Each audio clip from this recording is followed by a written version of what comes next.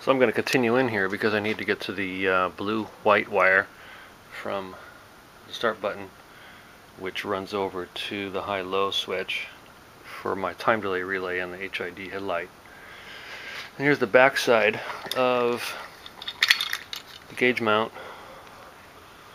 tach and speedo mount assembly.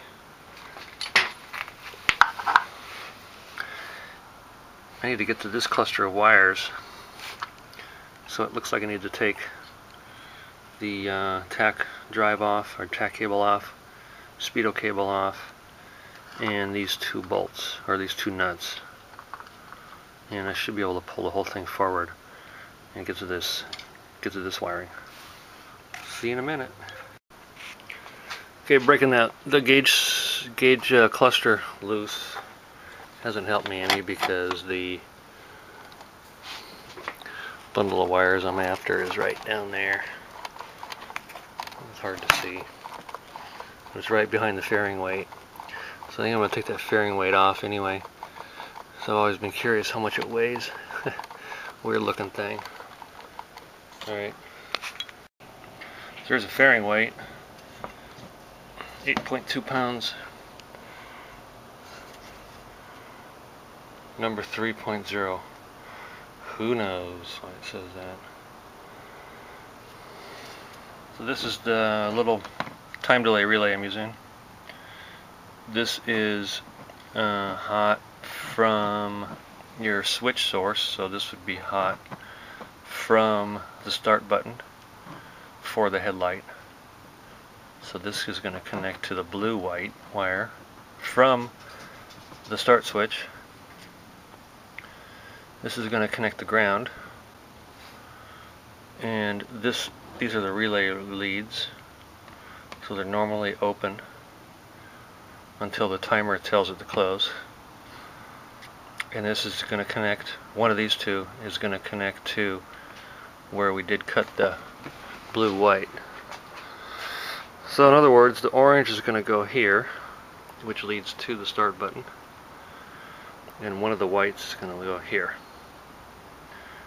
which leads then uh, continues over to the high-low switch. There's my splice into the blue-white and bundled type with uh, electrical tape. Alright, well I've got the uh, wire lead here and I've fished it down, I plugged it back in here, here's the red, back into the bucket there, behind the fairing weight. And I fished down my lead here, right down here, I'm going to zip tie that up and uh, into the fairing here back around to where I have the HID uh, ballast and relay. Okay, so I have two wires coming from the um, blue-white I intercepted and uh, so what I'm going to do here what we have on this relay is this is the positive so this gets the switched hot from the start button this orange and then this um, is going to supply the power to the relay coil or not the coil but the relay contact which after a time period is going to close and that's going to send it back on the blue-white wire back to the blue-white or black. It's going to send it on the black back to the blue-white I intercepted. So I just need to find a ground for the relay. And I'm going to grab that from here and the fairing off the uh, off this cluster. yeah, here. Uh, this is the ground I have running directly to the battery for the HID light in the relay. Okay, all wired up, ready to go, ready for a test turn the key on.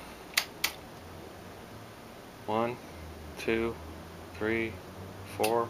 It's like four or five seconds. Push the start button.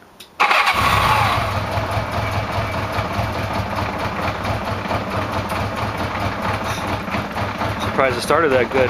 Must be those. Uh, must be those coils. Okay, turn the key off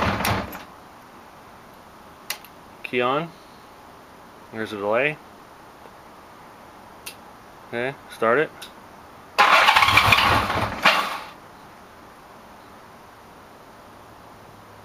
There's delay. And there we go.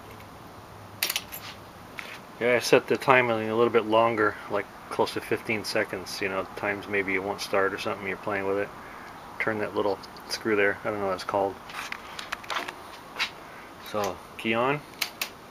One, two, three, four, five, six, seven, eight, nine, ten, eleven, twelve, thirteen, fourteen, like 14, 15 seconds.